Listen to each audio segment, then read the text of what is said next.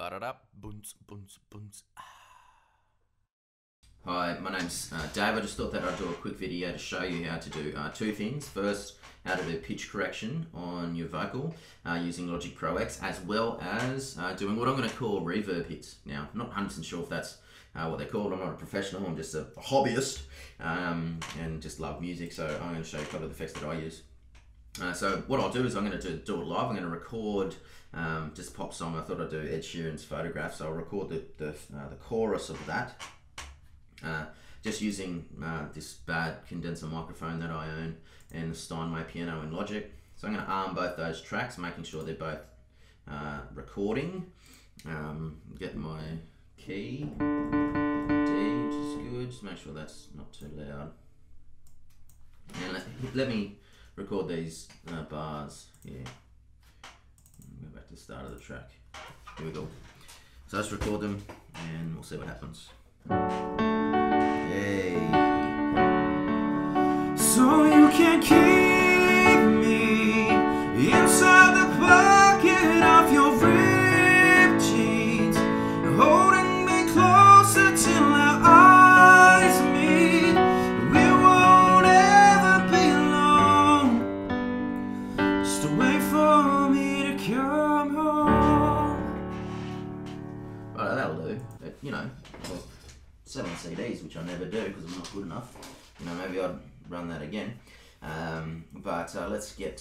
uh, this pitch correction.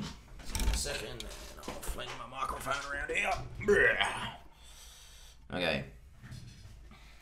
Uh, what you want to do uh, to be able to uh, do this pitch correction um, is you want to uh, double click on your vocal track uh, or you can just uh, hit the editor window there. Um, so I'm just going to double click on the vocal track. I'll close down the information and the instrument selection page. Uh, so there's there's my vocal. Uh, I'll zoom in a little bit so it takes up the whole page. Oh, there we go. Okay. Now,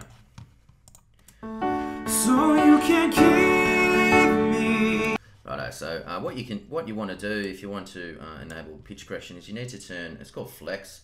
Uh, it says this this button here, this show hide flex. So uh, you need to turn that on. It says turn on flex. You want to click yeah I do, uh, and then uh, basically the top one is pitch. Uh, this can be used for a variety of things, but it's particularly helpful uh, just to go through and fix any um, pitch mistakes that you've made in your recording. Uh, so I'll turn that on. And basically here, and it shows all this gobbledygook, um, but uh, what, in essence, what it is, is say if you've got this piano down the side, uh, all the notes that you sing are connected to uh, a, a key. Or, um, basically, this is telling me here, So you can keep. when I sing keep, uh, it's telling me that I am playing a F, or singing an F. Now, there's a couple of options here. Uh, one of the things that we can do uh, is we can turn the vibrato down. Uh, that basically uh, removes any of the wobble, if you want to use layman's terms. Uh, so if I just drag that down, see, it makes it a nice, smooth, straight line. Uh, also, if you can command A, you can select all of it and then, you know, turn it, turn the vibrato down to zero, so it's nice and um, straight.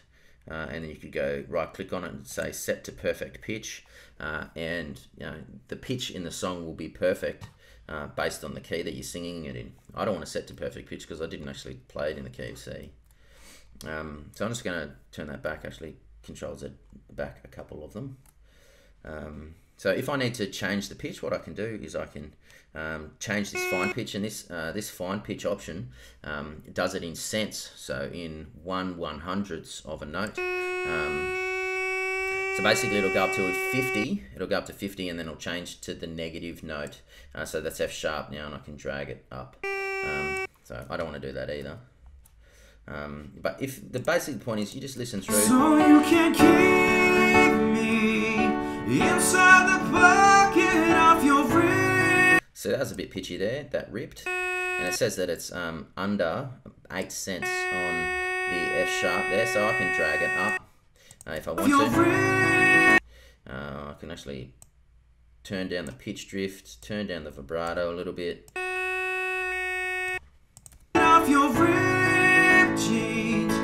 Right? So basically, you could go through all this, all the notes, and like you know, if you wanted to, like you can completely change them. Um, if you're really off, no, that didn't sound good. There you go, turn it up to F sharp. Yeah, great, sounds awesome. Uh, but anyway, you can do that. Uh, that's how you that's how you correct the pitch. I'm not going to go through and correct all of it, uh, but you can see there that um, if you actually have a look, each of the keys, it gives you this visual representation too of how far off you are. So if you're pretty close, um, it's right inside the key. But as soon as you start moving away from the pitch, it's got uh, it gives you these little hollow parts here. So see this one, I can says it's fine pitched out by 29. So and that's positive. So I need to drag that down uh, to get it on key. Now, one of the issues is when you're actually recording in Logic Pro X, it's very important to make sure that your key signature's right. Uh, it helps this process out a fair bit. Uh, anyway, uh, so that's that. That's how you do pitch correction, and I pitch correct the crap out of my voice because it's pretty pitchy.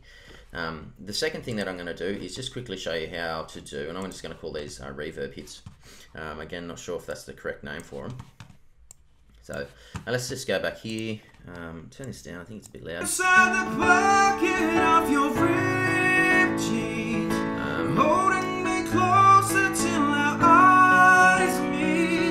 Okay, so what I want to do is I want to add some reverb, not to the whole track. I just want to add it uh, to uh, a little bit of.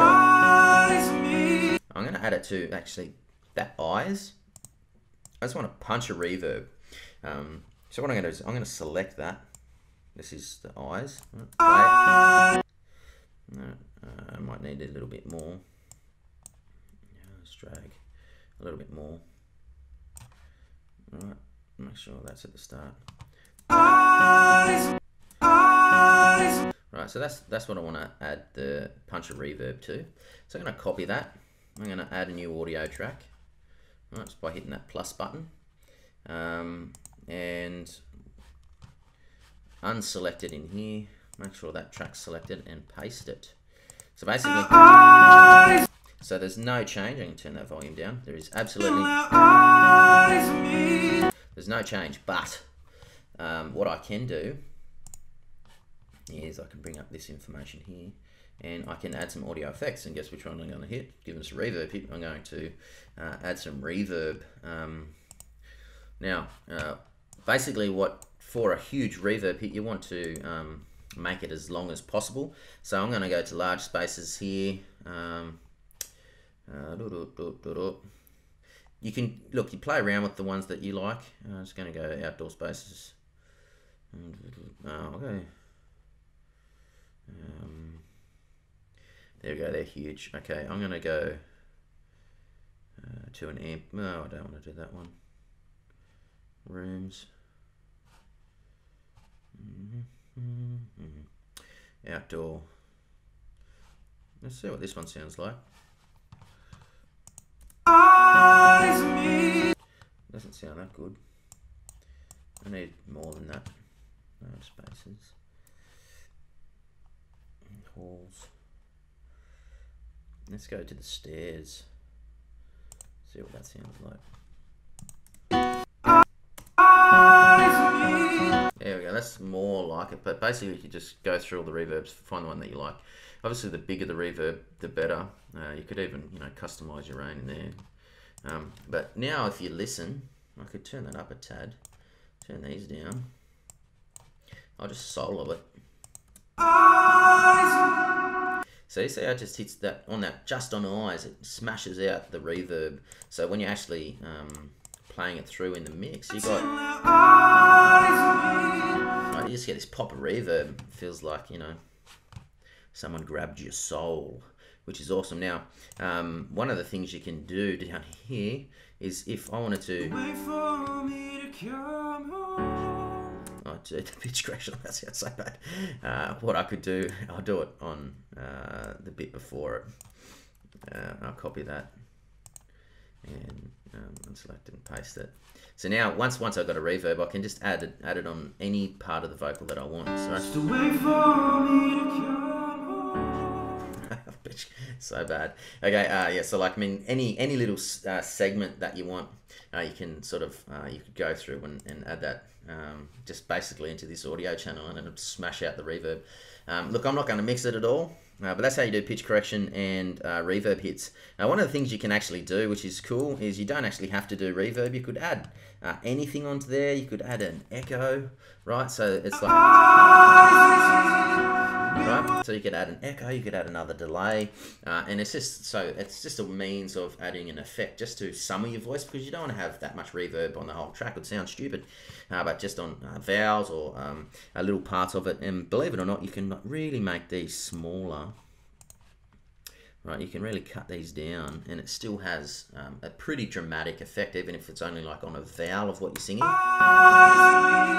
Right? So uh, anyway hopefully you can use that. Hopefully this is a benefit to you but uh, that's me out. Uh, if, please like comment if you want uh, subscribe. It helps me know that i'm not talking to the ether of nobodies. Uh, peace out people. Loving ya